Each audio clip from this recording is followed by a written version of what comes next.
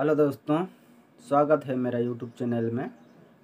और आज हम बताने वाले हैं जो कि दिवाली कब से और क्यों मनाया जाता है।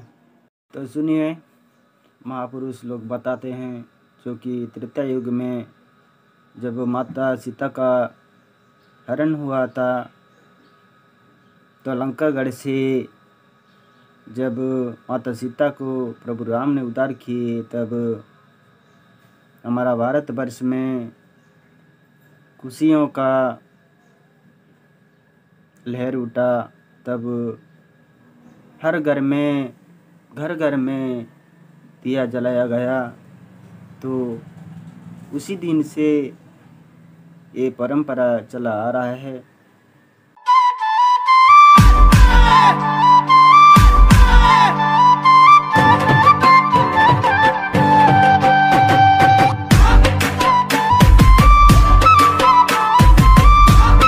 दोस्तों 2022 का दिवाली 24 अक्टूबर को मनाया जाएगा। और हम लोग खिचड़ी खवाते हैं गौ माता को।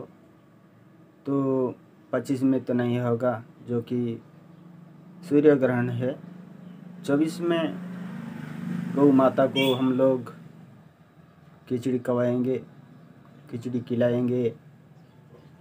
हमारा जो आदिवासी लोग हम गौ माता को लक्ष्मी के रूप में मानते हैं और खिचड़ी खिलाते हैं।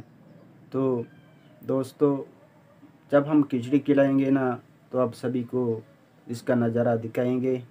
तो स्वागत है आप सभी को।